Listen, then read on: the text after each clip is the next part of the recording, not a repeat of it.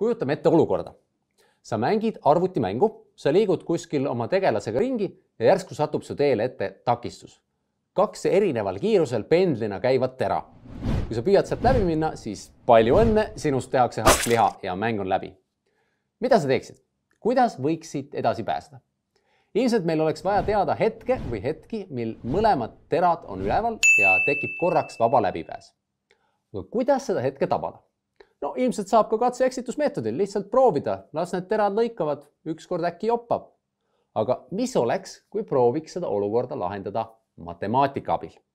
sest just seda me hakkamegi tegema. ma näitan, mis kasu on sinusoidi ehk siinusfunktsiooni graafiku tundmisest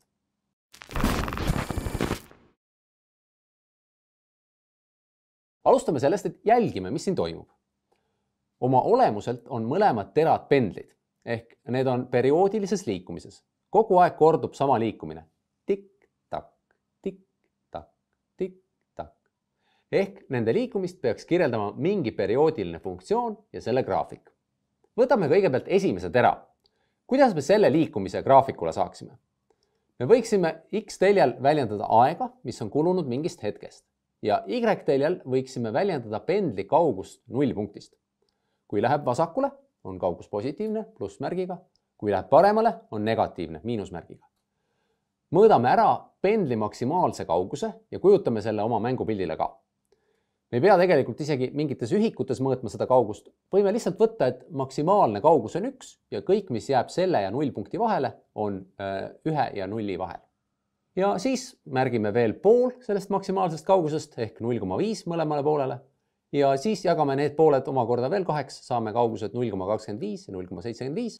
Nendest peaks piisama. teeme endale niisuguse tabeli, kuhu hakkame märkima üles, mis ajahetkedel pendel neid punkte läbib.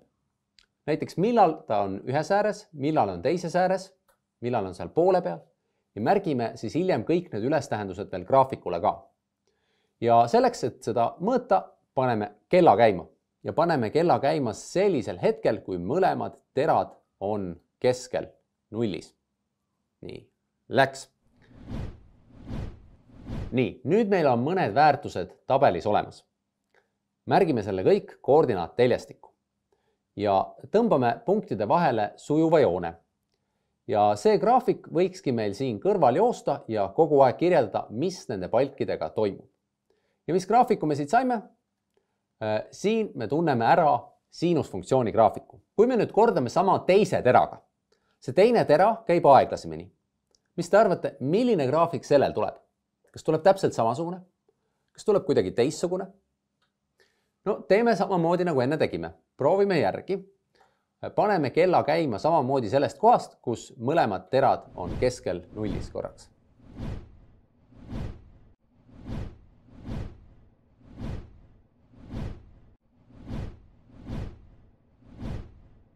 ja me näeme, et saime samamoodi sinusoidi, aga selle graafiku lained on laugemad ehk selle periood on pikem ja kui mõlema tera liikumine on meil siin visualiseeritud, siis kuidas me nüüd võiksime leida õige koha, õige hetke, millal läbi lipsata? mis tingimused meil peavad rahuldatud olema? meil peaksid mõlemad terad olema võimalikult äärtes, mitte keskel, on ju.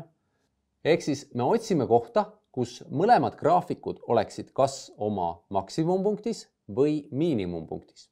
ja me näeme, et need korduvad iga viie sekundi tagant.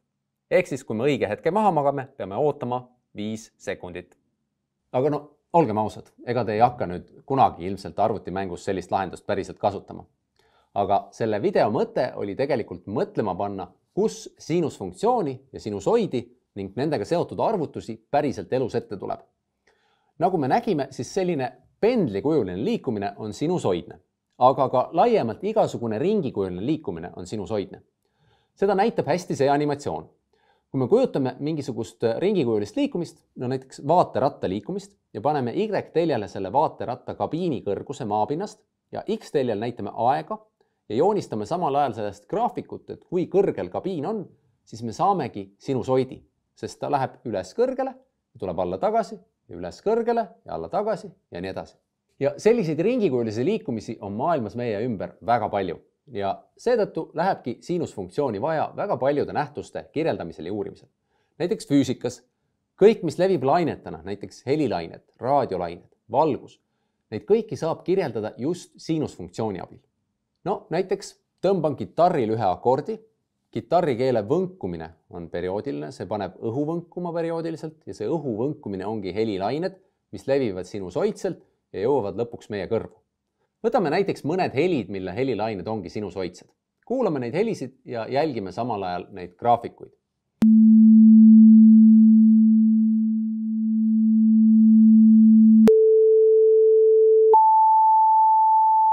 ühesõnaga, igasugu lainetena levivaid nähtusi saab kirjeldada sinusoidina ja vastavalt siis kõiksugu sellealaste füüsikaliste arvutuste jaoks on vaja aru saada siinusfunktsiooni käitumisest.